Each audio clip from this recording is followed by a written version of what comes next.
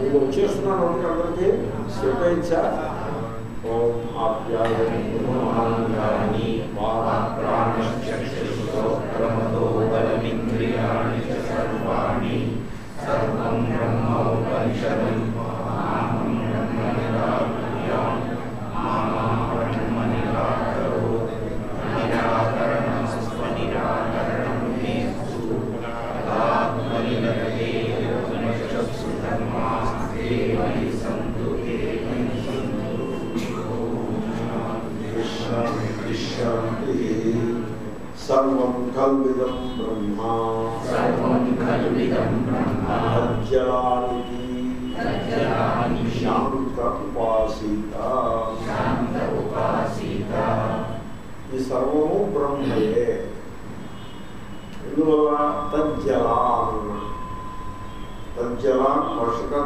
సంస్థను తత్ జ్ఞా ఆ బ్రహ్మ నుండి ఈ జగత్తుకు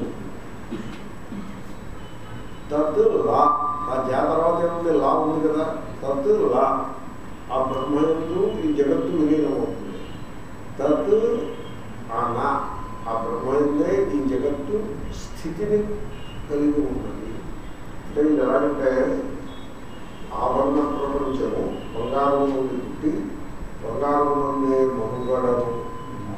నుంచి బంగారంలోనే విలీనమవుతుంది అన్నట్టు. అంటే ఈ ఆభరణ ప్రపంచం ఇంకా బంగారం కంటే భిన్నముగా లేదే లేదు. వాస్తవంలో ఈ ఆభరణ ప్రపంచం అనేది ఏదైతే కాదో ఇదంతా బంగారమే అని చెప్పినట్టుగా ఈ పాఠం బంగారం గురించి కాదు పాఠం బ్రహ్మం గురించి. బంగారం ఇంకే దృష్టాంతమే అని చెప్పినట్టుగా ఈ సకల జగత్తు బ్రహ్మ నుండి ఆవిర్భవించి బ్రహ్మ నుండే మగుపడము సాగించి బ్రహ్మలోనే విలీనమవుతుంది. ಕೊಲ್ಲುವಾಗ ಈ ಸಕಲ ಜಗತ್ತು ಬ್ರಹ್ಮವಾಗಿದೆ ಸರ್ವಂ ಕಲ್ಪಿತ ಬ್ರಹ್ಮ ಭಾಷ್ಯ ಸೊ ಪ್ರತ್ಯಕ್ಷಾಂ ವಿಷಯಂ ಬ್ರಹ್ಮ ಕಾರಣಂ ಕಾರಣ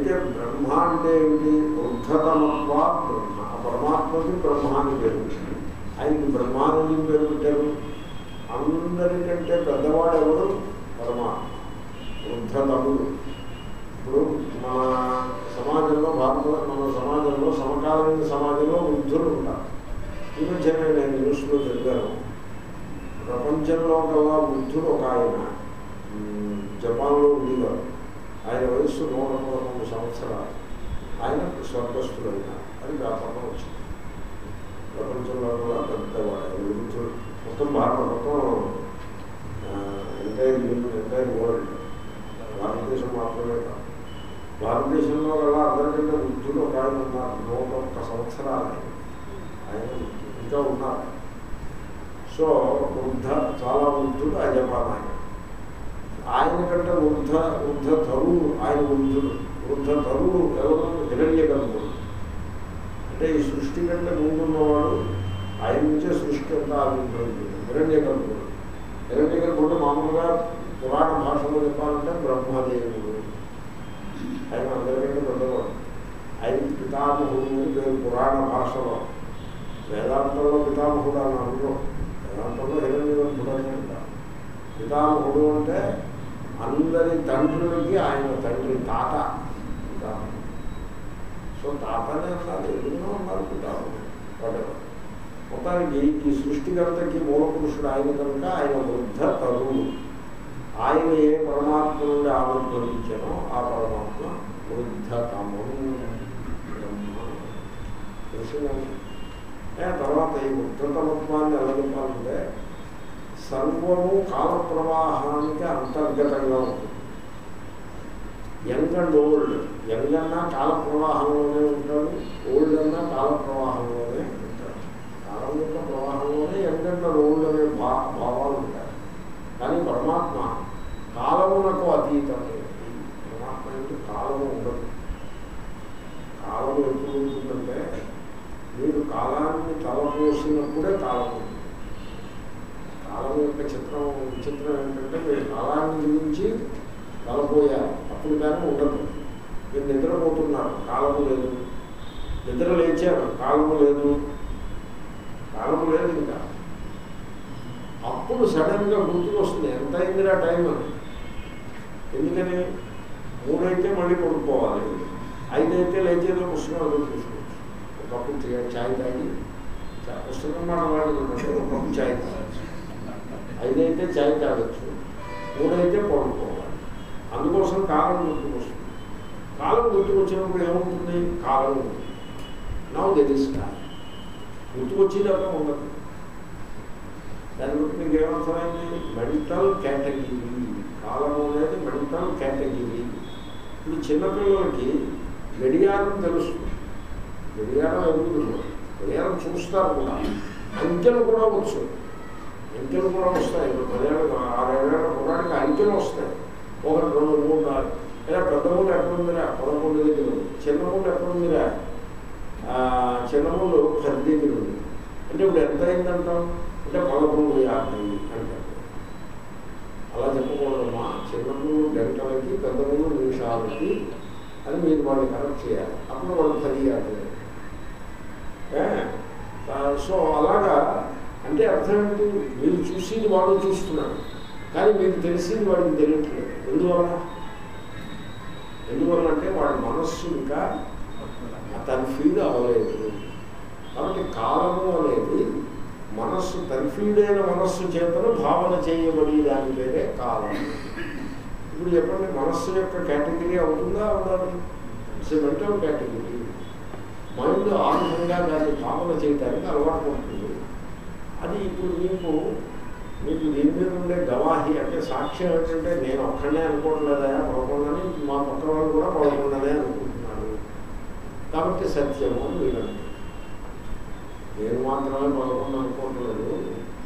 ఊళ్ళో వాళ్ళందరూ కూడా పదకొండనే అనుకుంటున్నాను కాబట్టి కాలము is real it is not a mental category it is real అని మీరు అంటారు. మీరు అన్నారు అనుకోండి దీని మీద రిప్లై ఏమిటంటే చోర్ కా గవాహి చోర్ అది రిప్లై చోర్ అనే మాట వద్దు. అజ్ఞానికి అజ్ఞాని యొక్క సాక్ష్యం అని అనుకుంటారు ఇప్పుడు ఇక్కడ కలెక్టివ్ మెంటల్ కేటగిరీ అవుతుంది అది కలెక్టివ్గా వాళ్ళందరూ కలిసి ఈ టైం ఇలా కలెక్టివ్ మెంటల్ కేటగిరీ ఉంటుంది మీకు అమెరికా వెళ్తే ఈ సంగతి తెలుస్తుంది. అమెరికాలో ఇది న్యూయార్క్లో టైం అంతా మూడు. కాలిఫోర్నియాకి ఫోన్ చేస్తే వాడు టైం ఎంతంటే పన్నెండు అంటాడు. ఏది ఏంటంటే ఒకే దేశంలో. ఇక్కడ మూడేమిటి అక్కడ పన్నెండు ఏమిటి ఇండియానా అని రాష్ట్రం ఉంటుంది మిడ్వెస్ట్లో ఇండియానాలో టైం ముందుకి వెనక్కి జరగదు. స్థిరంగా ఉంటుంది. ఇండియాకి యువతల వైపు ఉన్న వాళ్ళు టైంను ఓ గంట ముందుకు వెళ్తుంది ఓ గంట వెనక్కి వెళ్తుంది ఇండియాకి అవతల ఉన్న వాళ్ళకి టైం గంట ముందు వెళ్తుంది వెనక్కి టైం రీఅడ్జస్ట్ చేస్తూ ఉంటాం ఏమి వాటి ఈజ్ అంతా it's a collective mental category. Anyway. So పరమాత్మను ఈ మెంటల్ కేటగిరీ అయిన టైము స్పృశించలేదు. ఆయన అంత వృద్ధులు ఎంత వృద్ధులు అంటే కాల్క బాభై అది తమ్ముడు అంటే కాలములకు కూడా ఆయన జన్మనిచ్చిన వాడు. కాలానికే జన్మనిచ్చాడంటే ఇంకా ఆయన యొక్క పెద్దరికాన్ని గురించి ఏం చెప్పగలరు? అది వృద్ధ తమో ప్రత్యేకం ఆయన స్వయంగా అకాలుడై ఉంది అకాల్ సత్శ్రీ అకాల్. సత్శ్రీ అకాల్. సత్శ్రీ అకాల్ అంటే వీళ్ళు కత్తులు తీసేసుకుని ఇలా ఇలా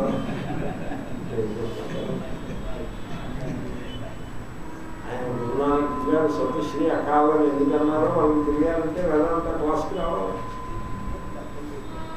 అప్పుడే వాళ్ళకి సత్యశ్రీ అకాలం తెలుసు.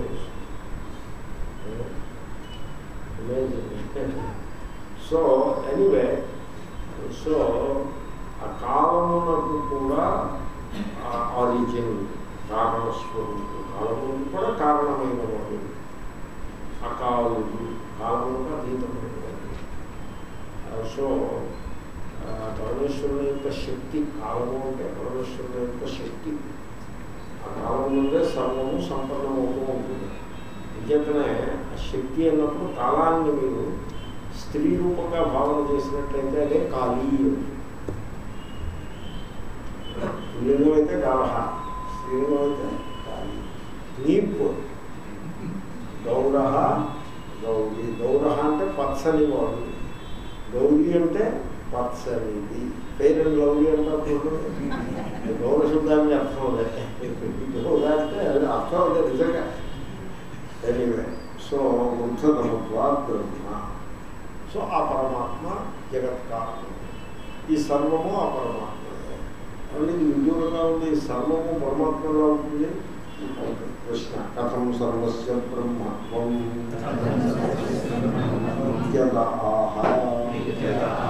సర్వము బ్రహ్మ ఎలా ఉంటుంది అన్నట్లయితే శృతి చెప్తుంది సమాధానం ఏమని తజ్జలామితి ఈ తజ్జలాన్ అది పదం తజ్జలాన్ దాన్ని మీరు రామాన్న అన్నట్టుగా అనుకోకూడదు జలాన్ రామం రామో రామాన్నది మూడు ఉందని అనుకోకూడదు ఓకే తజ్జలానితి అనుకుంటా తజ్జలాన్ కాదేమో ఆ, ఆ, ఇది తజ్జలానికి తజ్జలానికి శాంత ఉపాస తజ్జలాన్ ఓకే చూద్దాం భాషగాన్ని ఎక్స్ప్లెయిన్ చేస్తారు ఇప్పుడు తజ్జం తల్లం తదనం అని మూడు వస్తాయి తత్ ప్రతిదానికి అన్వయిస్తుంది జా లా అన అని ఉన్నాయి కదా దాంట్లో. జా లా అన. అది వ్యాఖ్యానిస్తున్నారు. తస్మాత్ బ్రహ్మణో జాతం. తేజోమన్నాదిక్రమేణ సర్వం. అతః తజ్జం. ఈ జగత్తు సర్వము. జగత్ అంటే సర్వం. ఈ సర్వము తజ్జం. ఎలా అయితే తజ్జం తస్మాత్ జాతం తజ్ఞం దాని నుండి పుట్టింది జా అంటే పుట్టడం. సో అండజ అంటే ఏంటి?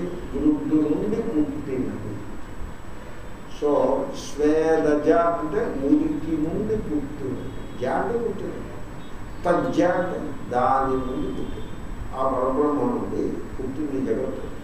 అని కూడా ఒక క్రమం ఉన్నది. ఇప్పుడు పరబ్రహ్మయందు శక్తి ప్రకటన తేజస్సు. శక్తి కండెన్స్ అయ్యి శక్తి ఘనీభవించి fluid state gases and liquids వస్తాయి. ఒక క్రమంలో ముందు గ్యాసెస్ వచ్చి తర్వాత లిక్విడ్స్ వస్తాయి. అది ఆపహ. అప్పులు ఘనీభవించి అప్పులు అంటే నీళ్ళు. ఘనీభవించి అది లిక్విడ్ స్టేట్. ఘనీభవించి భూమి వస్తుంది. అది ఈ విధంగా వాళ్ళు దర్శించారు తేజస్సు అప్పు అన్నము మనం చదివిన ఆరో అధ్యాయం. ఆ క్రమంలో ఈ మూడు వచ్చిన తర్వాత ఆ త్రివృత్కరణం అవుతుంది. ఆ తర్వాత సమాజ జగత్తు ఆవిర్భవిస్తుంది కాబట్టి తేజస్సు అప్పు అన్నము అనే క్రమంలో ఈ సకల జగత్తు కూడా ఆ పరమాత్మ నుండే పుట్టినది కాబట్టి ఈ జగత్తుకి తజ్జం అని చెప్పవచ్చు. తేనైవ జననక్రమేణ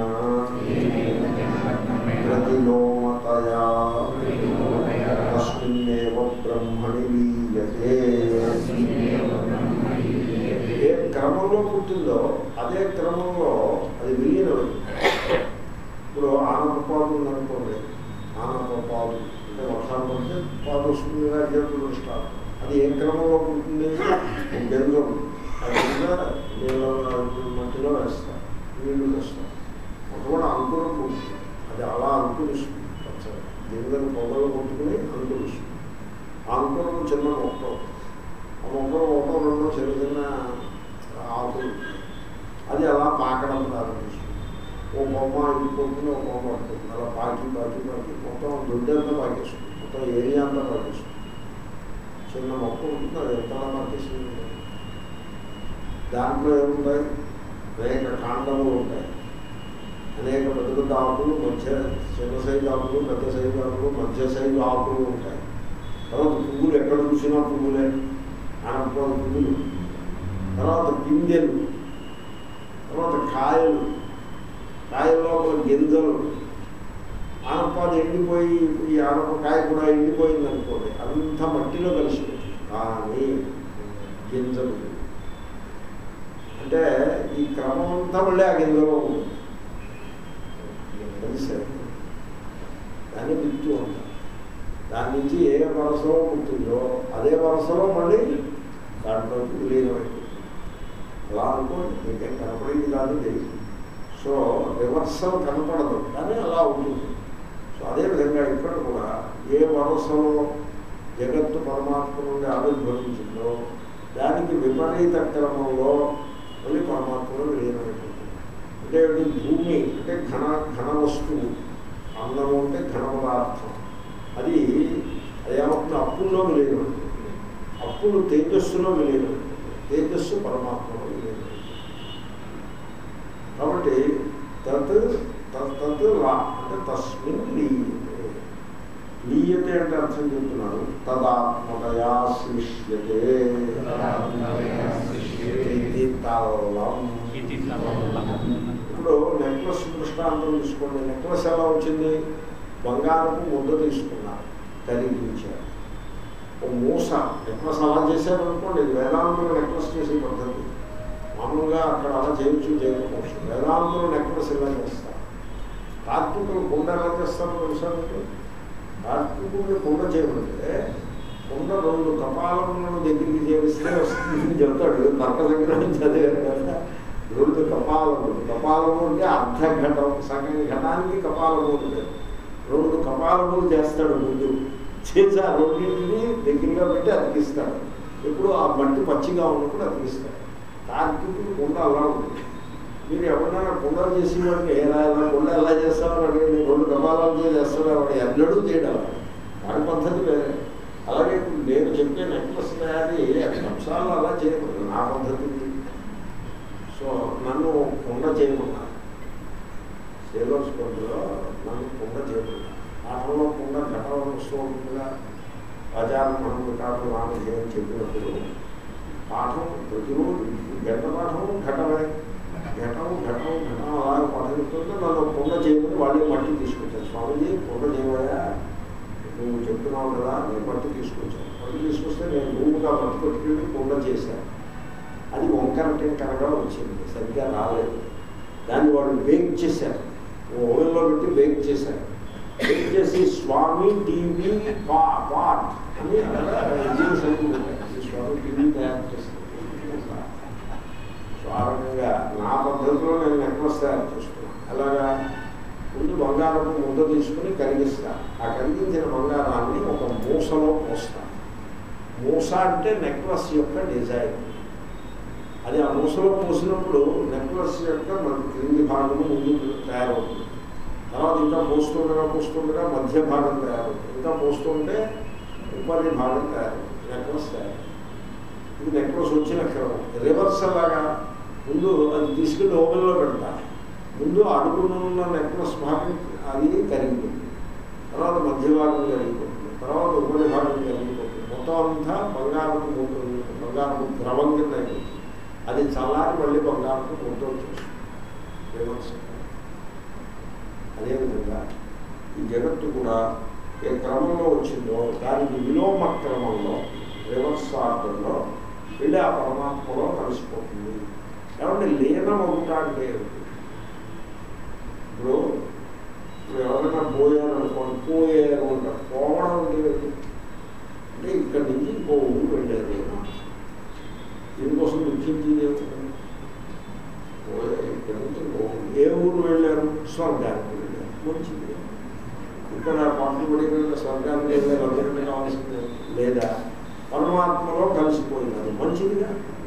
ఎవరి రెస్పెక్ట్ డిజైరబుల్ ఎనివే ఇక్కడ కూడా ఈ జగత్తు వాస్తవంలో పరమాత్మ నుండే ఆవిర్భవించినది కనుక మళ్ళీ పరమాత్మలో విలీనమవును. అనగా తదాత్మతయా శిష్యతే శిష్యతే అంటే కలిసిపోవడం.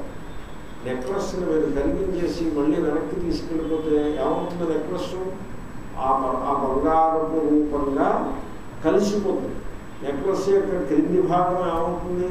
బంగారంలో కలిసిపోతుంది మధ్య భాగం ఏమవుతుంది? బంగారంలో కలిసిపోతుంది ఉపరి భాగం ఏమవుతుంది? బంగారంలో కలిసిపోతుంది అదేవిధంగా శిష్యత అంటే కలిసిపోతుంది కలిసిపోవు శ్లేష అంటే కలిసిపోతుంది అలాగే ఈ జగత్తు కూడా అదే విలోమ క్రమంలో ఆ పరమాత్మలో విలీనమైపోవు అంటే పరమాత్మలో కలిసిపోయి పరమాత్మయే మిగులు ఆ విధంగా కలిసిపోతుంది ఇంకా మళ్ళీ పరమాత్మ ఉన్నాడు ఆయన కడుపులో జరుగుతుంది అలా ఏమున్నది ఇంకా. పరమాత్మ రూపంగా కలిసిపోతుంది ఇప్పుడు బంగారం ఉన్నది దానికి అది దాని లోపల నెక్లెస్ ఉంది అని ఉంటుందా అలాగే ఈ జగత్తు కూడా విలీనమగును.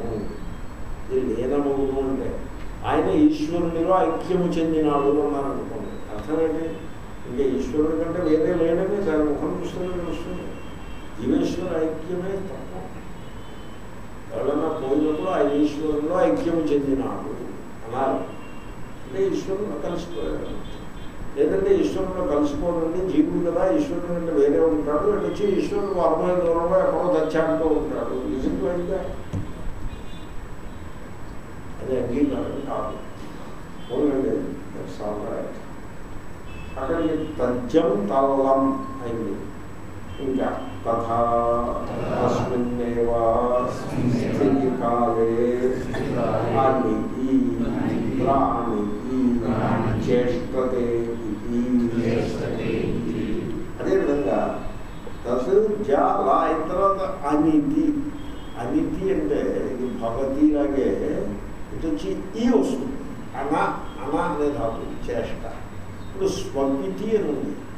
స్వప ధాతు స్వప ధాతు అయినప్పుడు లట్టు ప్రథమ పురుష ఏకవచనానికి ఈ వస్తుంది స్వపితి స్వపత స్వపంతి స్వపిషి స్వపథ స్వపథ స్వపిని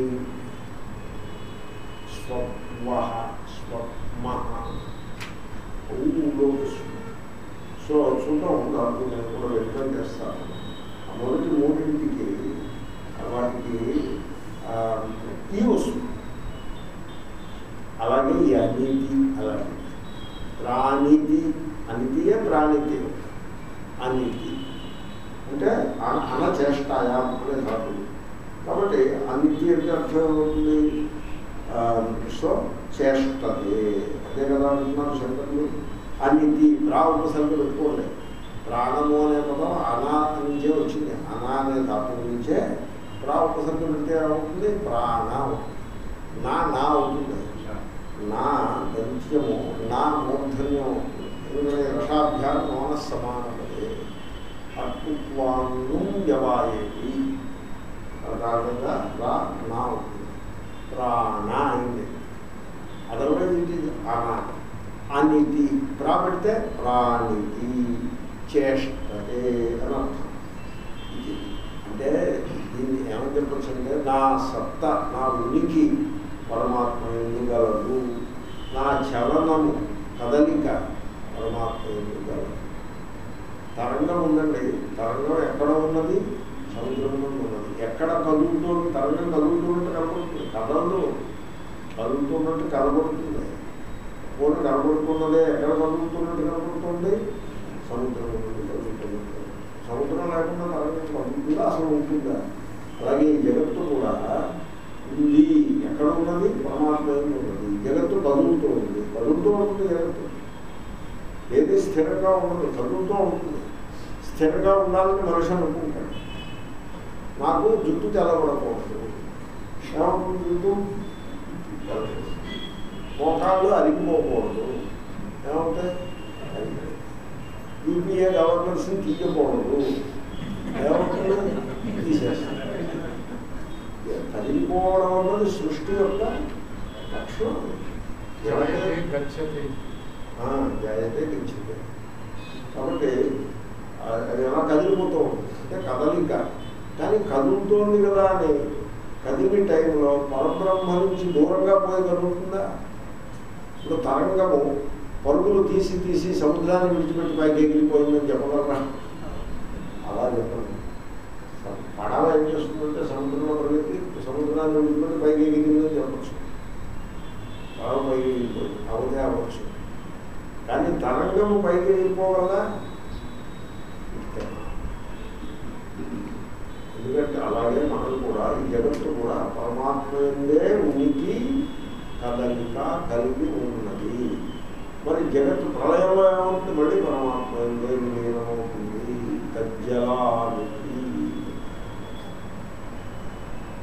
ఏం బ్రహ్మాత్మతయా ఇషు కాలేషు అవిశిష్టం తద్వ్యతిరేకేణ అగ్రహణ ఇది అసలు పాయింట్లన్నీ ఇక్కడ ఉన్నాయి. ఈ కార్యము కారణము కంటే అన్యము కాదు ఎందుకంటే ఇప్పుడు నెక్లెస్ బంగారం కంటే అన్యము కాదు. ఎందుకని? నెక్లెస్ని మీరు తెలుసుకునే సందర్భంలో బంగారమును విడిచిపెట్టి నెక్లెస్ని మీరు తెలుసుకోగలుగుతారా? గ్రహించడం అంటే తెలియడం. గ్రహణం అంటే తెలియడం. నెక్ బంగారమును ప్రక్కన పెట్టి నెక్లెస్ని మీరు తెలియగలుగుతారా?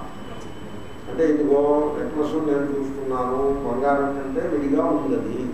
అలా ఏమన్నా ఇదిగో నెక్లెస్ పెట్టుకున్నాను బంగారం కంటే విడిగా ఉందని అలా ఉందా?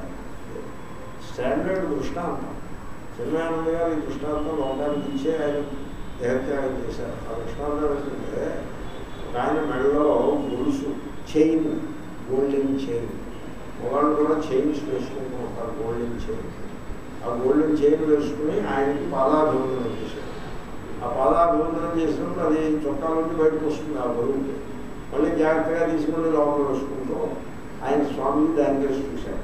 ఆయన ఈ చైన్ కేసు చూశాడని వీడు గమనించి స్వామికి ఈ చైన్ మీకు బహుమానం ఇస్తున్నాడు అంటే ఆయన ఉన్నారు చైన్ నాకు బంగారం నాకు ఇచ్చే ఇచ్చే నేను వాడుకుంటాను. చైన్ పట్టుకుని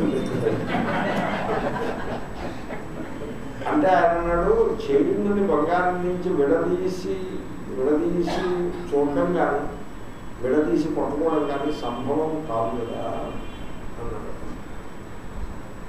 అబ్బో మీకు వేదాంతం బాగా తెలుసుకో చైన్ని బంగారం నుంచి విడదీసి పట్టుకోవడమే సంభవం కాదు. విడదీసి కొన్ని చూడు పట్టుకోవడం తర్వాత విడదీసి చూడగలం అది సంభవం కాదు.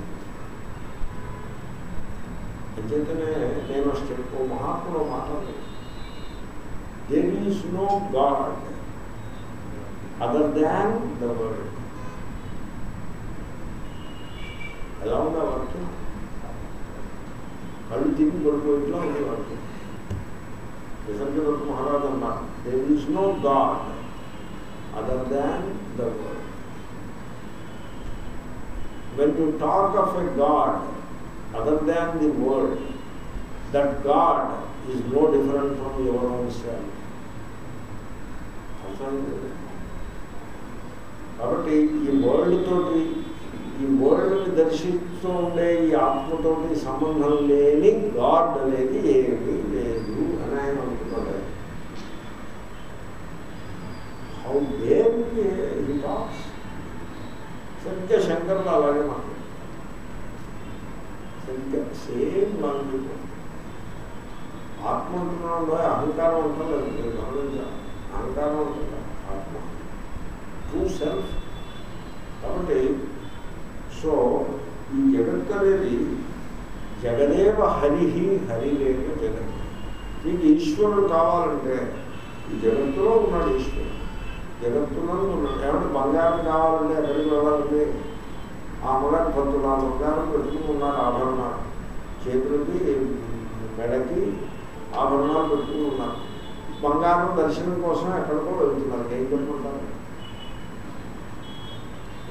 యాత్రకు వెళ్తున్నారంటే బంగారు బంగారు దేవత హిరణ్య దేవతని దర్శించడానికి వెళ్తున్నారు. హిరణ్య దేవత మీ ఒంటి మీద ఉంది కదా అంటే నా ఒంటి మీద హిరణ్య దేవత ఎక్కడ ఉంది నా ఒంటి మీద నెక్లెస్ ఉంది కంకణాలు ఉన్నాయి వడ్డాణం ఉంది తప్ప హిరణ్య దేవత కాశీలోనో లేకపోతే రామేశ్వరంలోనో ఉంది అక్కడికి వెళ్తుంది దానికి నేను చెప్పగలను లేదు.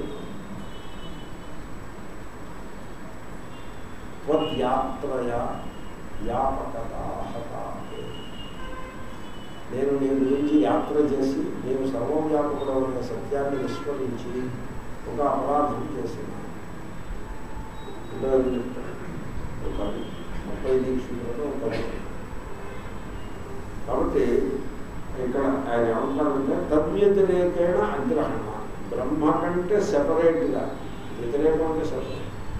బ్రహ్మ కంటే సెపరేట్గా జగత్తుని నీవు గ్రహించగలుగుతావా? నో. కాబట్టి జగత్తు ఎప్పుడూ కూడా బ్రహ్మయే ఆత్మగా కలిగి ఉన్నది తప్ప బ్రహ్మ కంటే భిన్నంగా అది ఎప్పుడు లభ్యం అవుతనే లేదు. మీరు ఎప్పుడైనా బంగారం నుంచి విడదీసి నెక్లెస్ని దర్శించగలుగుతారా? భావన చేయండి. దర్శించదు ఇప్పుడు నెక్లెస్ పట్టుకొచ్చి దాన్ని దర్శించడం అదంతా ఈ పరిణామం మీరు భావన చేయండి. మీరు you have to think of necklace. Without its material మీరు కళ్ళు మూసేసుకునే మెటీరియల్ లేకుండా నెక్లెస్ని భావన చేయాలి. అంటే బంగారం కానీ వెండి కానీ ఏదో ఒకటి తయారు చేయడానికి ఉపయోగం మెటీరియల్ లేకుండా నెక్లెస్ని భావన చేయాలి. చేయగలుగుతారా? చేయలేదు. కుండని భావన చేయండి. మెటీరియల్ లేకుండా. అది మట్టితో కానీ లోహంతో కానీ చేసింది అవ్వకూడదు. కుండా. మెటీరియల్ లేకుండా భావన చేయండి మీరు చేయలేదు. కాబట్టి పరబ్రహ్మ కంటే వ్యతిరేకంగా జగత్తు గ్రహింపబడుతనే లేదు. అదేమిటంటే మేము వ్యతిరేకంగా గ్రహిస్తున్నాం. చెప్పండి? మీరు ఏం వ్యతిరేకంగా గ్రహిస్తున్నారో చెప్పండి? భూమి. భూమి అంటే పరబ్రహ్మయే భూమి రూపంగా మీరు కనబడుతున్నాను ఎలా ఉందంటే మేము నెక్లెస్ బంగారం కంటే వ్యతిరేకంగా ఆభరణాలను మేము భావన చేస్తున్నాం.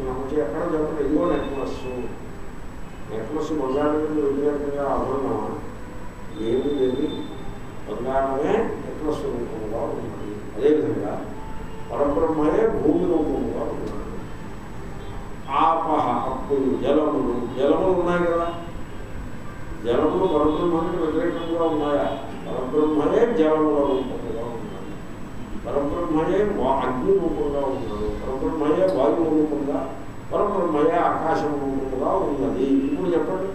జగత్తు జగత్తు మీరు భావన చేయండి. పరబ్రహ్మను విడిచిపెట్టి జగత్తును భావన చేయండి. సంభవమే కాదు. ఎందుకంటే ఇషు కాలుషు అవిశేషిక ఇప్పుడు నెక్లెస్కు మూడు కాలాలు. ఇలాగే ఉంటుంది దృష్టాంతం పడుతుంది నెక్లెస్ పుట్టినప్పుడు బంగారం కంటే వేరే ఉందా? లేదు. నెక్లెస్ మెడలో పెట్టుకుని ఎంజాయ్ చేస్తున్నప్పుడు బంగారం కంటే వేరుగా ఉందా? లేదు. నెక్లెస్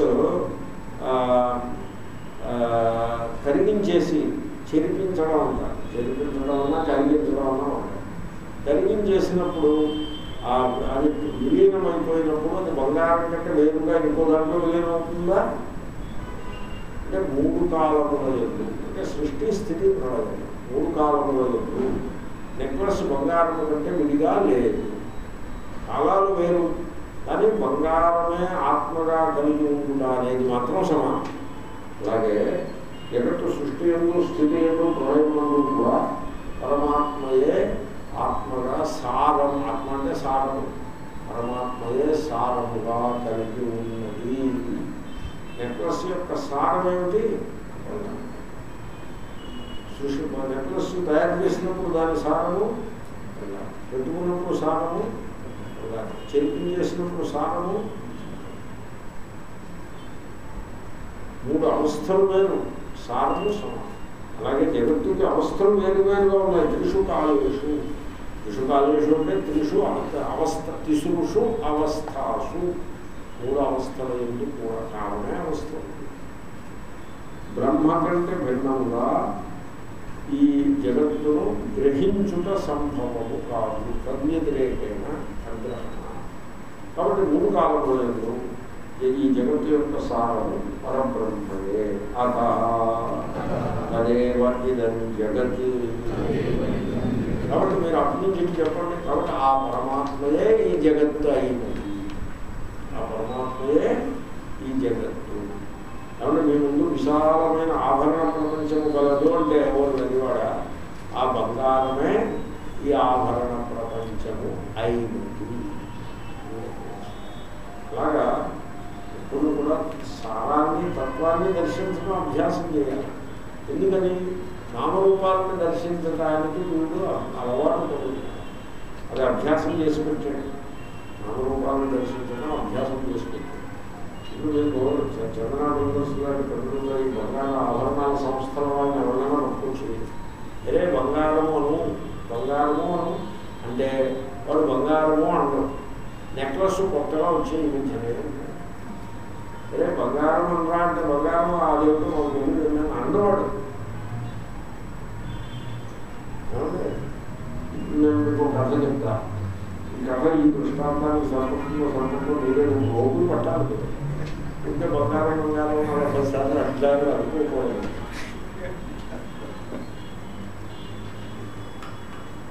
ఒక బంగార ఆభరణాల వ్యాపారం ఒక ఆయన ఉన్నాడు పెద్ద వ్యాపారం ఆయనకి ఎక్కడో మంచి ఎక్కడో కొంచెం బంగారం అవసరం ఉంది బంగారం వ్యాపారం బంగారం అవసరం లేదు ఎవరో ఎవరో ఎక్కువ అవసరం లేదు కొడుకుని పిలిచాడు కొడుకు మోటార్ సైకిల్ పెద్ద మోటార్ సైకిల్ సరే వెళ్ళి పది తులాలు బంగారం తీసుకురా అన్నాడు కొడుకు వెళ్ళాడు వెళ్ళి బంగారం కోసం వెతికితే వాడికి ఎక్కడ బంగారం కనపడలేదు షాప్కి వెళ్ళి తీసుకురావాలి వాడికి బంగారం దొరకలేదు వెనక్కి వచ్చి నాన్నగారు నాకు బంగారం దొరకలేదు అంటే ఈయన అనుకున్నాడు ఆ మధ్యన అమీర్పేటలో ఎక్కడో షాప్ బంగారం షాప్ అవసరానికి చూడండి అలాగే చోరీ అయిపోయిందేమో అనుకున్నాడు ఈయన వెంటనే అదే మోటార్ సైకిల్ మీద కూర్చొని ఫల ఫలం వారి కంగారు కంగారుగా అన్ని కొనం అనుకుని షాప్ దగ్గరికి వెళ్ళాను వెళ్తే అన్ని బాగానే ఉన్నాయి ఏ, చోటు లేదు ఏం లేదు. అన్ని ఆభరణాలు నిండా షోకేసులుగా ఉన్నాయి.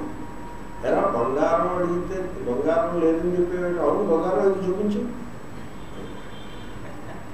అంటే ఓ షోకేస్ చూపించాడు ఇదిగో ఇవన్నీ అవి ఇవన్నీ నెక్లెస్లు ఆయన ఆశ్చర్యం ఆ తర్వాత ఇంకో షోకేస్ చూపించాడు ఎలా ఇవన్నీ అవన్నీ గాజులు కంకణములు. అయితే మరి మన మన షాపులో బంగారం ఎక్కడ ఉందో చూడంటే నేను చూశాను నాన్నగారు నాకు ఎక్కడ ఆ, వాడు మన లౌకికుడు మోడలు అయి ఉంటాడు మన లౌకికులు ఎవరున్నారు? ఎవరు? దేవుడు ఎక్కడ ఉన్నాడు? దేవుడా? దేవుడే దేవుడు కావాలంటే బస్సు రైలు ఎక్కాలి. బస్సు రైలు ఎక్కితే కానీ దేవుడి పరిస్థితి లేదు. బస్సు రైలు ఎక్కాలి. అక్కడ క్యూలో పద్నాలుగు గంటలు నిలబడాలా ఏం చేస్తావురా అక్కడికి వెళ్ళి? పద్నాలుగు గంటలు ఏం నిలబడతాం క్యూలో? అది ఏం దర్శనం? ఏం సమాచారం? మన ఊళ్ళో ఉంటే వెంకటేశ్వర స్వామి గుడి. నీకు వెంకటేశ్వర స్వామి యొక్క రూపం మీద నీకున్న ప్రేమకు నేను ఎంతో సంతోషిస్తున్నాను. మా ఊళ్ళో ఉన్న వెంకటేశ్వర స్వామిని వెళ్ళి చూడరా అంటే అర్థం కాదు. బస్సు ఎక్కాలి రైలు ఎక్కాలి నారాయణ ఎక్స్ప్రెస్ ఎక్కాలి దాంట్లో ఇవ్వాలి మళ్ళీ అక్కడ దిగిన తర్వాత లంచం ఇవ్వాలి అక్కడ పైకి వెళ్ళిన తర్వాత లంచం ఇవ్వాలి లంచం ఇస్తాను లంచం ఇవ్వడం తప్పని అనుకోండి ఇలా వెతుకుతున్నాడు ఇప్పుడు మీరు చెప్పండి ఇందాక ఆ బంగారం షాపు యజమాని భూమికి ఎలా ఉన్నాడో అలాగే ఉన్నారా జనం అలాగే ఉన్నారు కదా అప్పుడు ఆ బంగారం షాపు యజమాని ఆ కుర్రవాడికో పాఠం చెప్తాడు. ఏం పాఠం చెప్తాడు? నువ్వు ఇప్పుడు నేను చెప్తాను అవునా? ఏ పాఠం. కాబట్టి అత తదేవ ఇదని చెప్పలేదు ఎట్లా బంగారం లేదంటాం షాపులో? బంగారమే ఈ సకల ఆభరణ ప్రపంచం అయింది కదా అని చెప్తాడు అలాగే ఏమిటా దేవుడు అంటే బస్సు ఎక్కుతారంటాం రైలు ఎక్కుతారంటాం నీ కాలు కింద దేవుడు ఉన్నాడు నువ్వు పీలుస్తున్న గాలి దేవుడు త్రాగే నీరు దేవుడు చుట్టూ సంచారం చేసే ఆకాశం దేవుడు వాయువు దేవుడు దేవుడు బస్సు ఎక్కుతారంటావు రైలు ఎక్కుతారంటావు ఇట్లా దేవుడు అంటే అని పాఠం చెప్పాలా అక్కర్లేదా అత తదేవ ఇదం జగత్ జగదేవ హరి హరిదేవ జగత్ అంచేతనే ఉపనిషత్తును అధ్యాత్మ విజ్ఞాన దేవుడు అంటే ఎదురుకుండా చూస్తే దేవుడు కాదు నీలో చూసుకుంటే దేవుడు. సో అదేనా అధ్యాత్మ విజ్ఞానం నువ్వు ఎక్కడ ఉన్నావో అక్కడే దేవుడు ఉన్నాడు. కాబట్టి నువ్వు ఉన్న చోట దేవుడు లేకపోతే నువ్వు ఎక్కడ ఉన్నావో అక్కడ దేవుడు లేకపోతే అది దేవుని యొక్క వ్యాపకత్వానికి భంగమైనా కదా? నీవు ఉన్న కాలంలో దేవుడు లేడనుకోండి ఆ దేవుడు అంచును నశ్వరుడు అయిపోడు ఇప్పుడు నువ్వు ఉన్న కాలంలో దేవుడు లేడు. అంటే ఆ దేవుడు నశ్వరుడు అయిపోడు. అంటే ఏమిటనమాట ఏ దేశంలో నువ్వు ఉన్నావో ఏ కాలంలో నువ్వు ఉన్నావో అదే దేశంలో అదే కాలంలో ఉంటేనే ఆయన ఈశ్వరుడు అవుతాడు. ఏ కారణం చేతనైనా ఆ దేశంలో కానీ ఆ కాలంలో కానీ లేకుంటే అది ఈశ్వరుడు యొక్క ఈశ్వరత్వానికే భంగం కాదు. కాబట్టి దేవుడు దేవునికి ఆనందం అని మహాత్ములు వర్ణించారంటే దేవుడు అంటే ఏమవుతుంటున్నాం ఆనందం విజ్ఞానం ఆనందం బ్రహ్మ. అంటే ఆనందాన్ని ఎక్కడ చెప్పారు? నువ్వు సందేహిస్తారేమో నేను మీకు కొటేషన్ చెప్పాను బృహదారణ ఉపనిషత్తులో విజ్ఞానం ఆనందం బ్రహ్మ. ఆనందము బ్రహ్మ ఏమంటే ఆనందం బ్రహ్మ అంటే ఒకడు అంటాడు అయితే నా గల్లా గల్లాపెట్టిలో ఉంది బ్రహ్మ అంటాడు. గల్లాపెట్టి అంటే తెలుసు కదండి? నా గల్లాపెట్టిలో బ్రహ్మ కలదు ఇంకొకటి అంటాడు ఆల్కహాల్ బాటిల్లో బ్రహ్మ కలదు అంటాడు. అయితే భోగ్య వస్తువులో బ్రహ్మ కలదు సో ఇంకొకటి అంటాడు బ్రహ్మ వైకుంఠంలో కలదు. కాదుగా ఆనందం బ్రహ్మ. ఆనందం అవును. డబ్బుంటే ఆనందం. భోగ్యం అంటే ఆనందం. ఆనందం కావాలంటే స్వర్గానికో వైకుంఠానికో వెళ్ళాలి. ఎంత అజ్ఞానము ఆనందము స్వర్గానికి వెళ్ళినా ఆనందము నీ హృదయంలో ఉన్నది. స్వర్గానికి వెళ్ళినా హృదయంలోనే ఉంటుంది ఇప్పుడు మీరు ఇక్కడ వెంకటేశ్వర స్వామిని స్మరించారనుకోండి మీకు ఏమైంది ఆనందం కలిగింది. దాన్ని భక్తి అంటారు. భక్తి అనగానేమి? స్వామిని స్మరించగానే ఆనందం కలిగితే భక్తి అంటారు స్మరించినా మాకేం ఆనందం లేదంటే భక్తి వచ్చిందో? ఆనందం కలిగితే దాన్ని భక్తి అంటారు. సపోజ్ మీరు తిరుపతి కొండ మీదకి వెళ్ళి స్మరిస్తే దర్శించడమన్నా స్మరించడమన్నా ఉంటే తిరుపతి కొండ మీదకి వెళ్ళి స్మరించారనుకోండి అప్పుడు ఆనందం కలిగింది అనుకోండి మొత్తం మీద ఇది అది ఒకటే ఉంటుంది అక్కడ కూడా మీ హృదయంలో ఆనందమే కలగాలి. కాబట్టి ఆనందమే బ్రహ్మ. ఆనందం అంటే ఎక్కడ ఉంటుందండి ఇక్కడ. ఇప్పుడు ఉంటే ఉన్నట్టు లేకపోతే మీకు జీవితంలో ఎప్పుడూ ఆనందం కాదు ఆనందానికి రహస్యం the secret of happiness you are happy now and here if you are not happy now and here you will never be happy anyway కాబట్టి తదేవ ఇదం జగత్. యథా చ. ఇదం తదేవా. ఏకం ద్వితీయం తథా షష్ఠే. స్తరేణ వక్ష్యామః.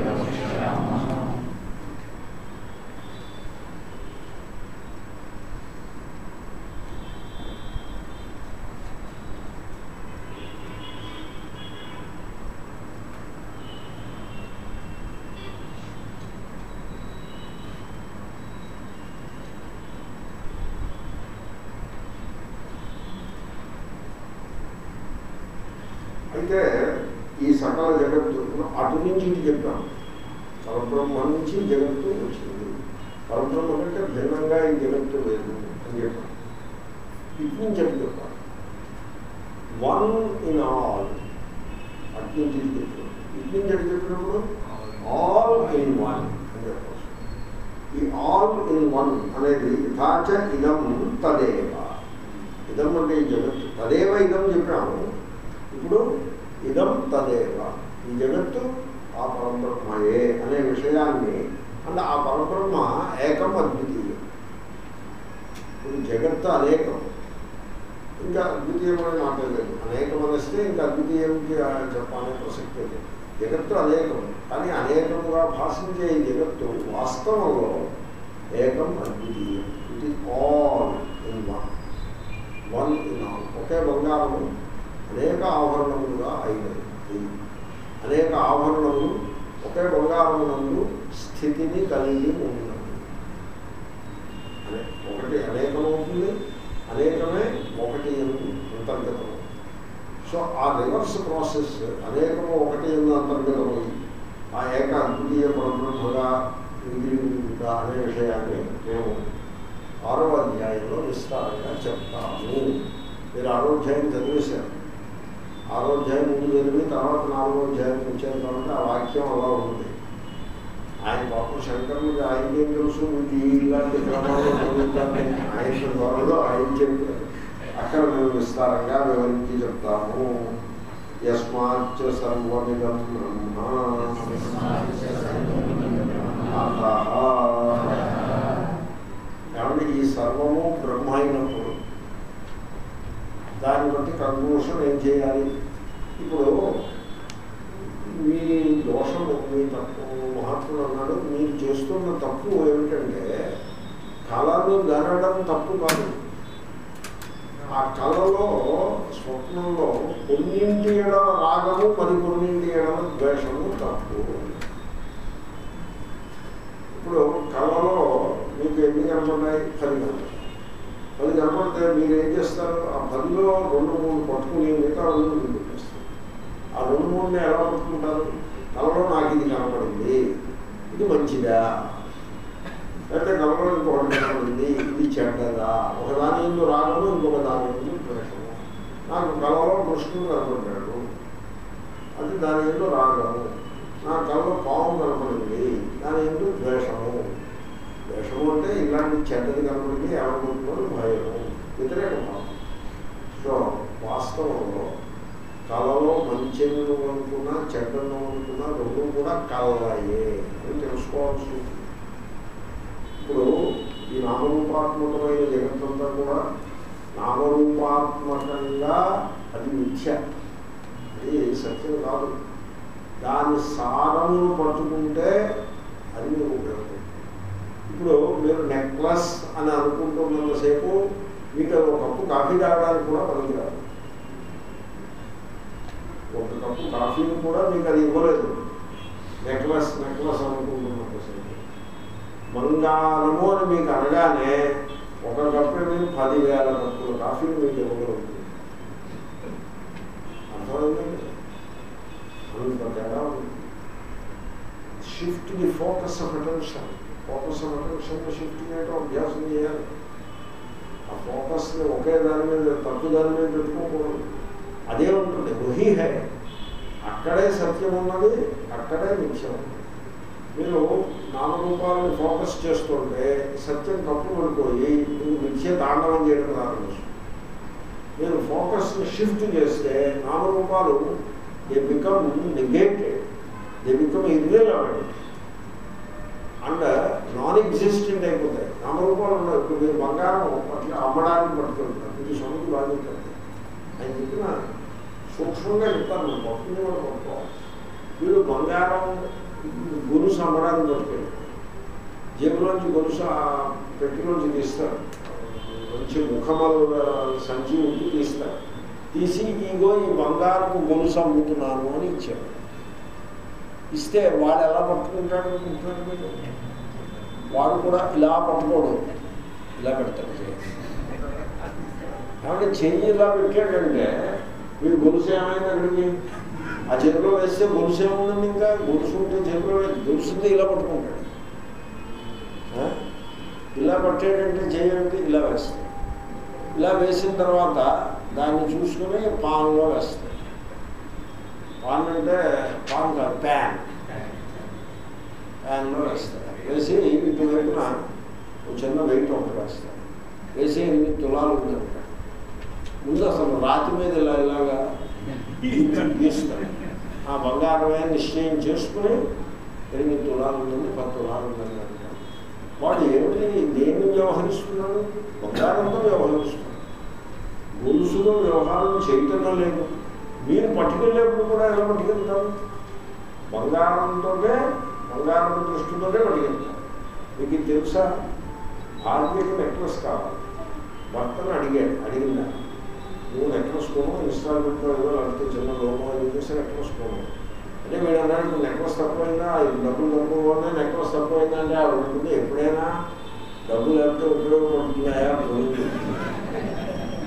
అంటే ఆవిడ కూడా దాన్ని బంగారం అనే రూపంగా వాడికి ప్రజెంట్ చేస్తుంది.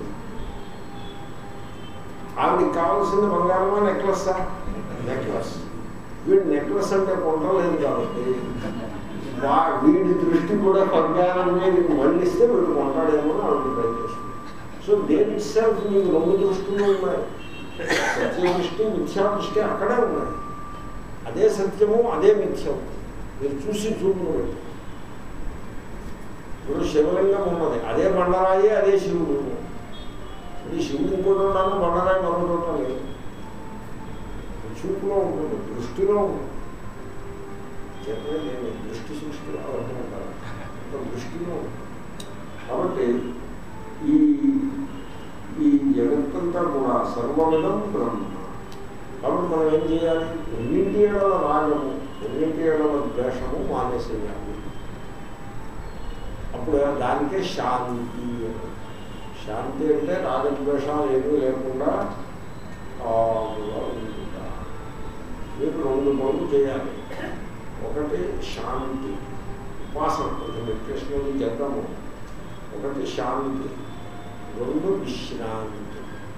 శాంతి అంటే కామ్ విశ్రాంతి అంటే రిలాక్స్ విశ్రాంతి అంటే తరగా వేసుకుని నడుము అవసరం కాదు కదా? రిలాక్స్ నేను విశ్రాంతి అనే పదాన్ని నేను కొంచెం హెజిటెంట్గా వాడుతున్నా ఎందుకంటే నా మనసులో రిలాక్స్ అనే పదం ఉంది దాన్ని తెలుగులో ఎలా చెప్పాలో అర్థం కాక విశ్రాంతి అనే పదం చెప్పాను విశ్రాంతి అనగానే మీకు తగ్గడం మంట కొంచెం గుర్తొస్తుందంటే మాత్రం వర్క్ అవుతాను ఓకే ఇది నాట్ అబౌట్ దాట్ శాంతి విశ్రాంతి మీరు మీ జీవితాన్ని మీరు చూసుకోండి మీ కేసు మీరు చూసుకోండి మీరు కొంచెం టెన్షన్లో ఉన్నట్టున్నారు. చూసుకోండి లిటిల్ టెన్షన్ ఉన్నట్టు మీరు. ఉంటుంది. సంసారం అంటే అలాగే ఉంటుంది. ఏదో టెన్షన్ ఉంటుంది. ఏదో చేయాల్సింది ఏదో ఉంది. ఆ పని పూర్తి కాలేదు. ఇంకా మన ముందు బోర్డు ఒక పని ఉంది. చిన్న టెన్షన్ ఉంటుందా ఉండదా? ఉంటుంది. ఏమంటే ఆ టెన్షన్ డ్రాప్ చేసేది దాని పేరు విశ్రాంతి. ఏమిటి మీ మనస్సులో కొంత అలజడి ఉన్నట్టుంది మనస్సు కొంచెం చలనం ఉన్నట్టు ఉందా లేదా? ఉంది. ఆ, సరే. ఆ చలనాన్ని పక్కన పెట్టండి. దాని పేరు శాంతి. ఏమంటే శాంతి విశ్రాంతి ఎలా వస్తాయో తెలుసిన మీకు రాగద్వేషాలు లేకుంటే వస్తాయి. ఇప్పుడు మీరు బంగారం మీద రాగం పెట్టుకున్నారు అనుకోండి బంగారం అని అనిపిస్తున్నాను ఏమనుకుంటుంది బంగారం మీద రాగం రాగం అంటే నాకు బంగారం కావాలి అని పెట్టుకున్నారు అనుకోండి. ఇప్పుడు బంగారం సపోజ్ మీరు యాభై తులాలు వంద తులాలు బంగారం మోగేశారు అనుకుంటారు లెటర్స్ ప్రాక్టికల్గా ఆలోచించండి.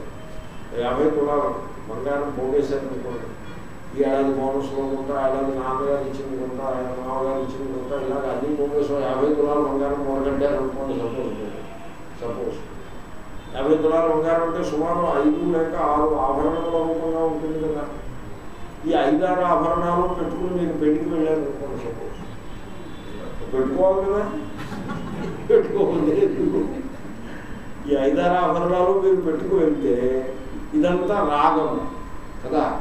ఇదంతా రాగం. అయ్యి బాబు ఇన్ని ఆభరణాలు పెట్టుకుని వెళ్తున్నాము. ఎవడైనా దొంగ అటాక్ చేస్తాడేమో అనే భయం ఉంటుందా ఉండదా? ఒకసారి భయం ఉంటుందా ఉండదా? అది ద్వేషం. ఈ మధ్యకాలంలో దొంగలు ఎక్కువైపోయారని మీకు ఒళ్ళు మంట ఉందా లేదా?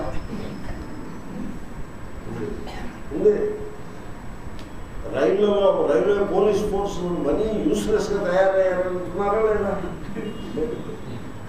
కరెక్ట్. వాళ్ళు యూస్లెస్గానే తయారవుతారు రైల్వే పోలీస్ ఫోర్స్ అంటే వాళ్ళతో సమ్ పేపర్స్ మీద రాసుకుని చేస్తారు.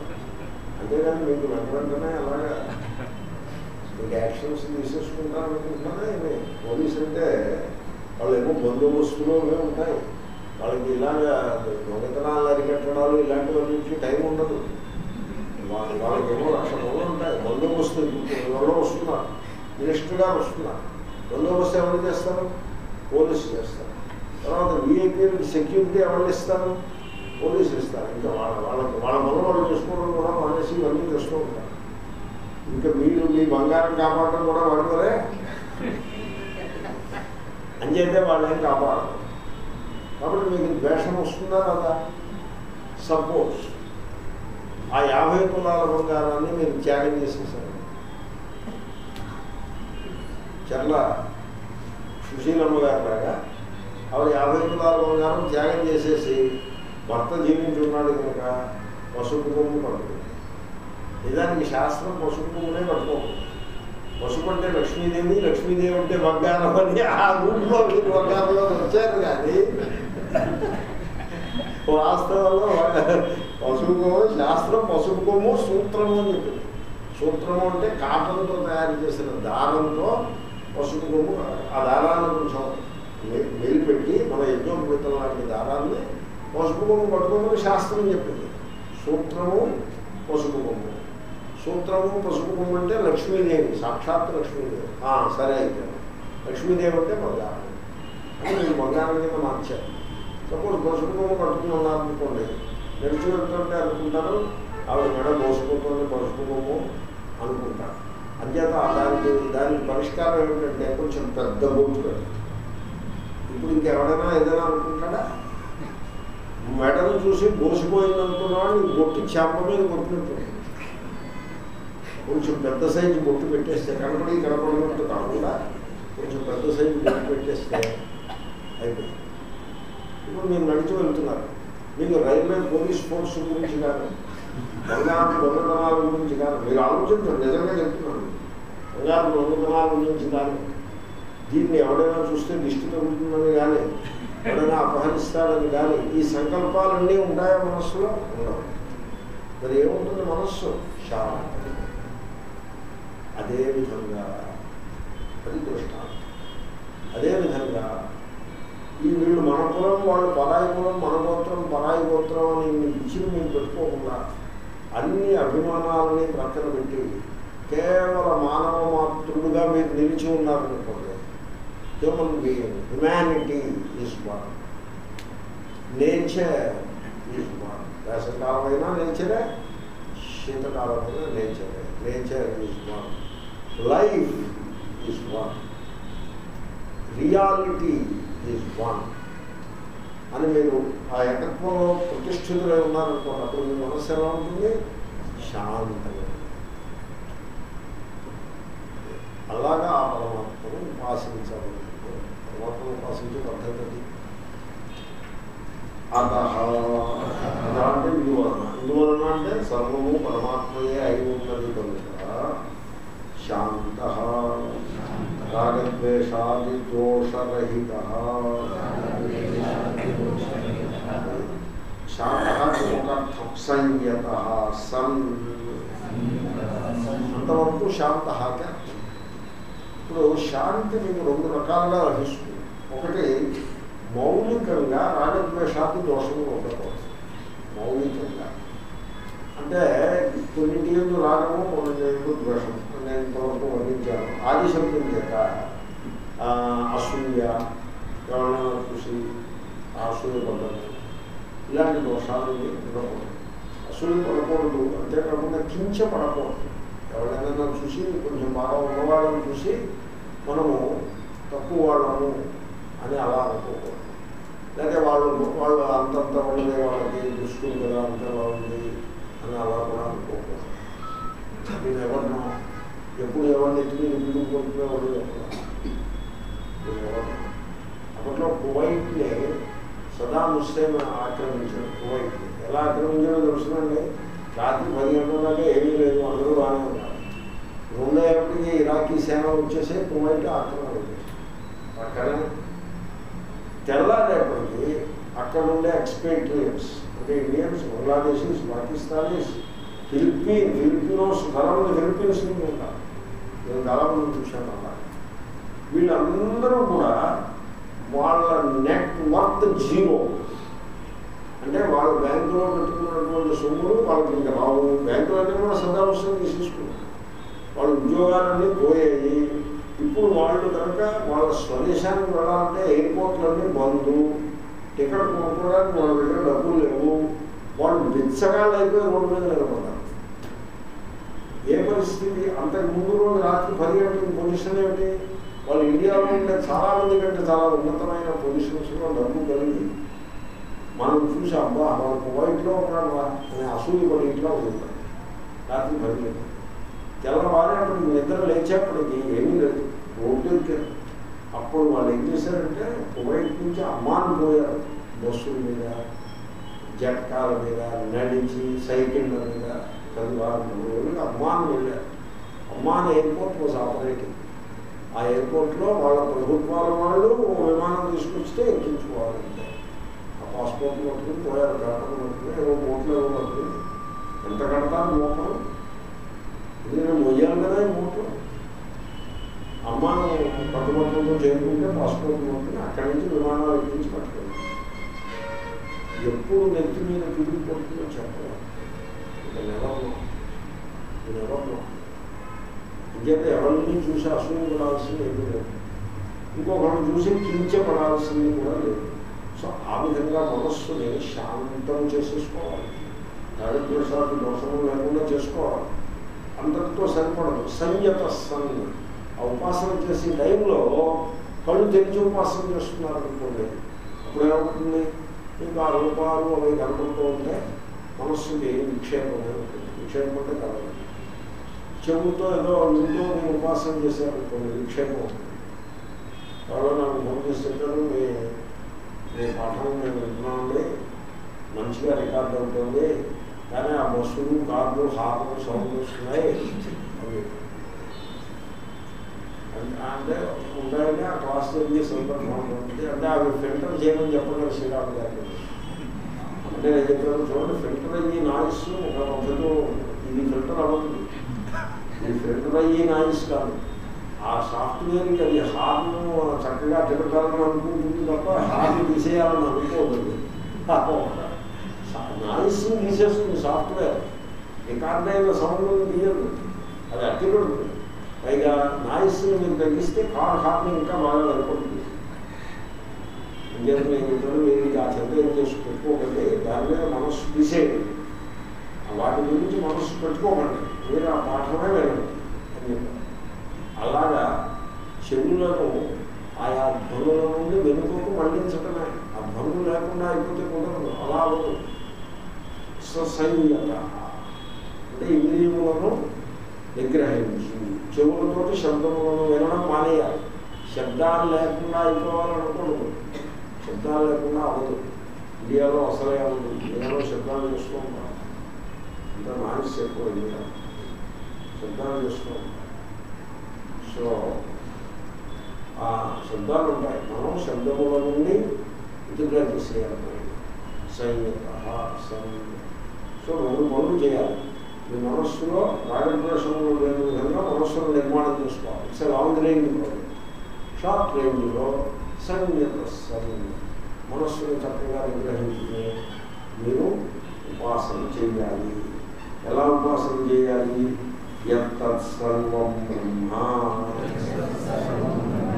ఏ సర్వము గలదో అది బ్రహ్మ. ఎత్ సర్వం తత్ బ్రహ్మ.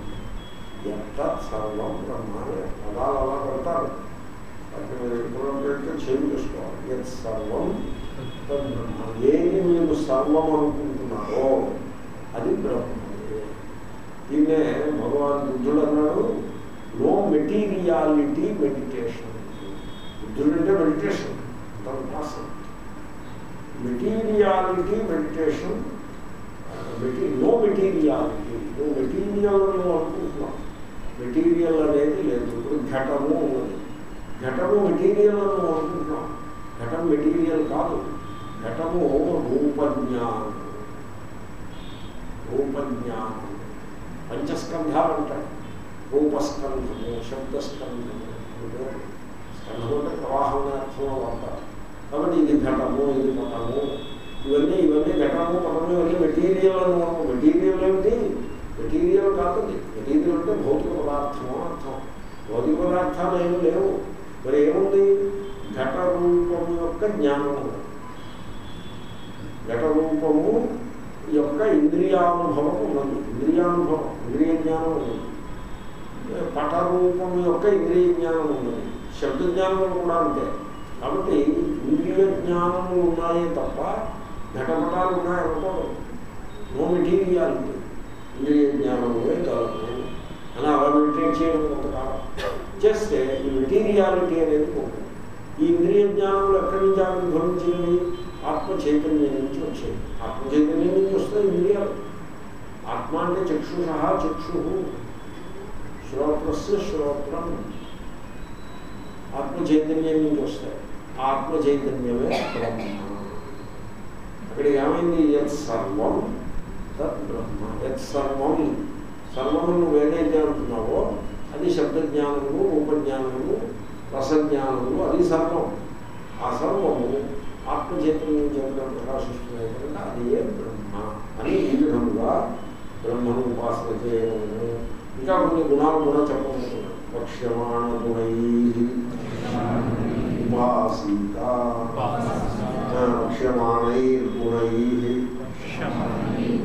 ఉపాసీత. am urmat cu ce am făcut cu bună mânător, bună mână, masă înțelegere. Cu de exemplu, liniște de talent.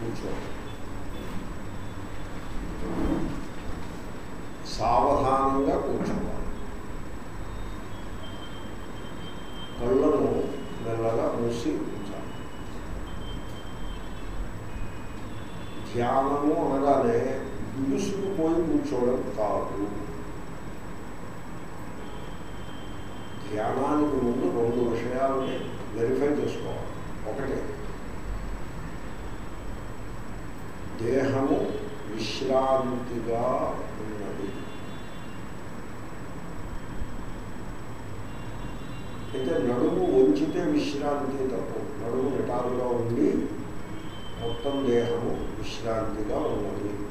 Relax relax అన్నది దేహము విశ్రాంతిగా ఉన్నది. కాదు భుజములు చేతులు ఒక్కసారి పరిశీలించాలి. భుజములు చేతులు. టైట్గా ఉన్నాయా?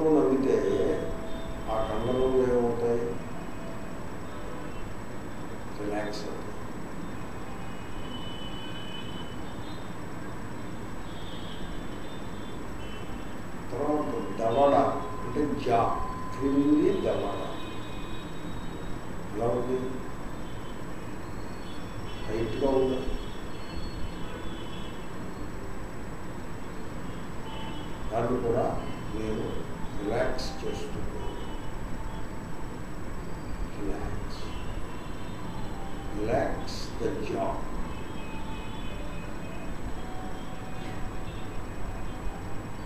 కళ్ళను రిలాక్స్ చేయాలి కళ్ళు మూసి ఉంచే relax the ice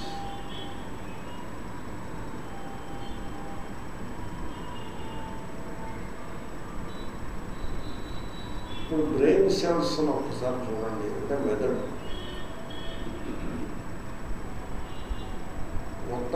Krishna Bhagavatam మెదడులో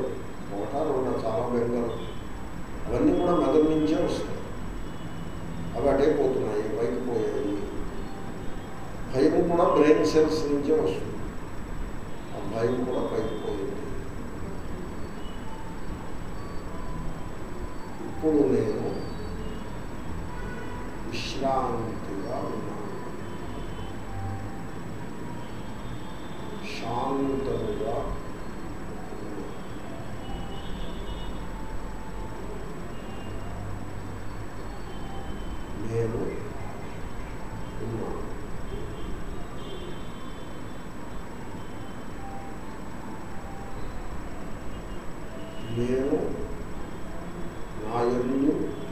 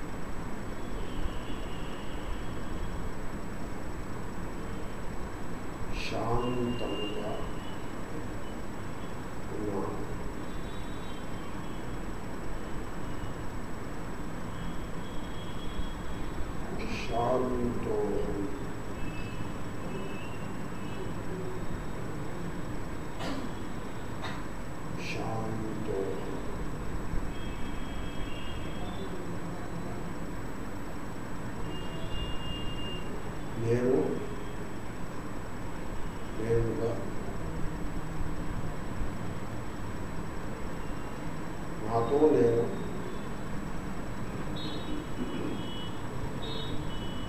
Raiano ou nela.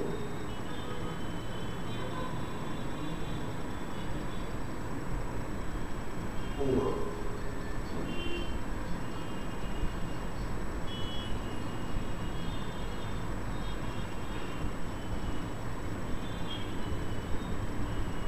Temos tudo.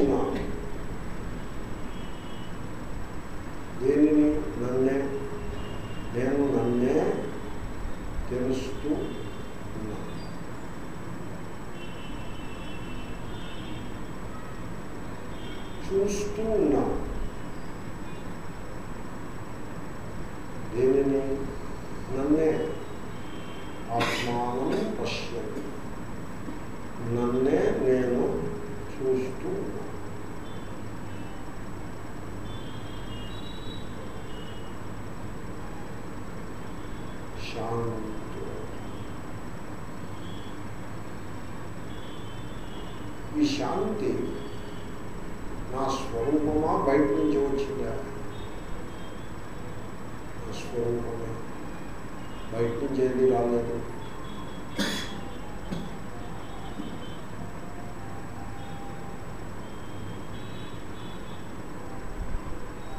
shown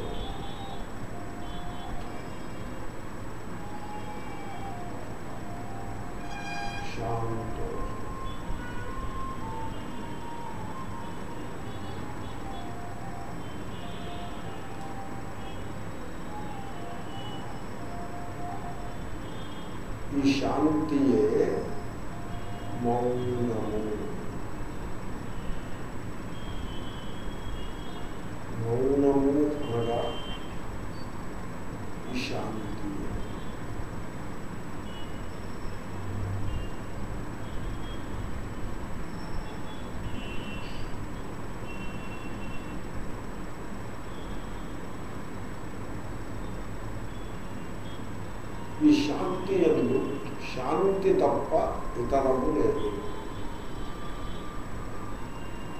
శాంతియే గలదు ఇతరము లేదు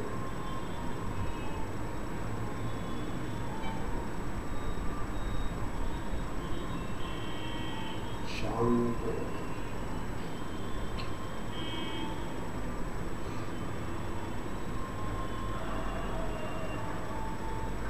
శాంతి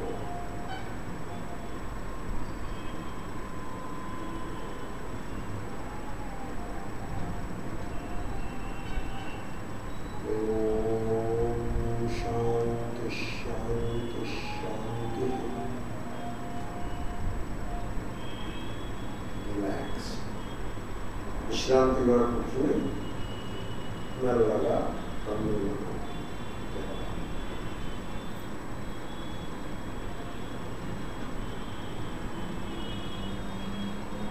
సాధకుడు ముందుగా తన ఎందు ఈ శాంతిని ఆవిష్కరించుకోవాలి శాంత ఉపాసన ఈ శాంతి లేకుండా అసలు ఏ ఉపాసన ముందు సాగు ఈ శాంతి లేని ఉపాసనలు ధ్యానంలో ఒక తంతుగా మిగిలిపోతాయి తప్ప అసలు ముందు సాగేదేమీ ఉండదు కాబట్టి శాంతి శాంతికి రెండు రహస్యాలు ఒకటి విశ్రాంతి దేహమునకు విశ్రాంతి మనస్సులకు మౌనము రెండు కలిసి. మనస్సుకి మౌనం.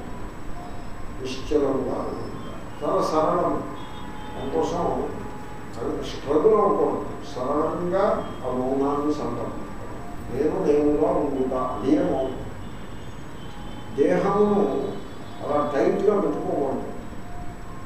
టైట్గా ఉంటారు. జనాలు ఉన్న కూర్చుంటాయి భుజస్కంధములతో సహా టైట్గా ఉంటాయి చేతులు టైట్గా ఉంటాయి. దండ టైట్ దవడ టైట్గా ఉంటుంది.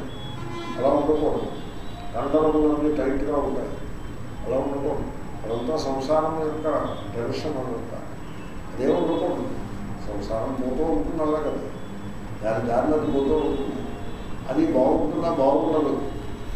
సంసారం బాగుంటుందని ఎవరు చెప్పారు? బాగుండదు. డబ్బున్న వాడికి బాగుండదు డబ్బు లేని వాడికి బాగుండదు బాగుండదు సంసారం. సంసారం బాగుంటుందని అపేక్షిస్తే అది పొరపాటు కాబట్టి దాని దారిలో పోతూ ఉంటుంది. అదంతా కూడా ప్రవాహం ఉంది రూప ప్రవాహం అలా దృశ్యం ఉంది దృశ్య ప్రవాహం. దాని ఏదో రాగాన్ని పెట్టుకోకూడదు ద్వేషాన్ని పెట్టుకోకూడదు. అవన్నీ పైకి పైకి వదిలిపెట్టేసి మనిషి శాంతంగా ఉండడం అభ్యాసం చేయాలి. చేశాక శాంత ఉపాసీత.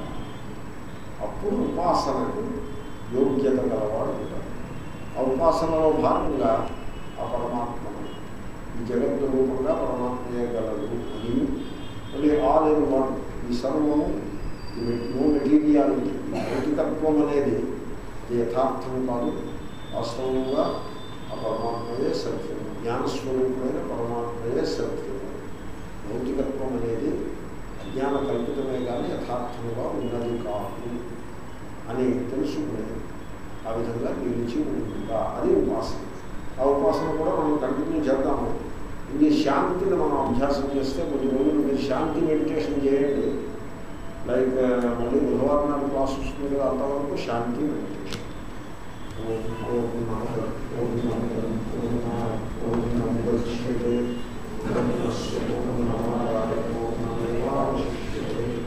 ఓం శాంతి